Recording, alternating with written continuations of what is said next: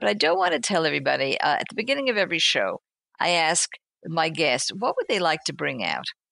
And Judy's answer uh, was almost tearful for me because she's going to able to bring Lucille into your home. And that's a beautiful thing. Tell us about that, Judy. Yeah, one of my my quests is that I, I, thought long and hard during the shelter in place and, and some of the things that were going on about wow, if Lucille was alive and I wouldn't be able to go and see her, how lonely it would be eh, not just for me, but especially for her because she would have been sheltering in place alone. And I think there's a lot of people that that's the case. And Lucille was an avid uh, letter writer.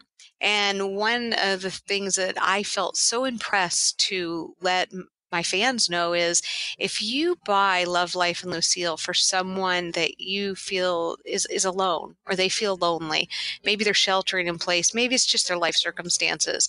If you buy that as a gift and you message me, I eh, will send a letter and a photo of Lucille and I to that person because I think that if we could just keep them company for a little while, we've done our job.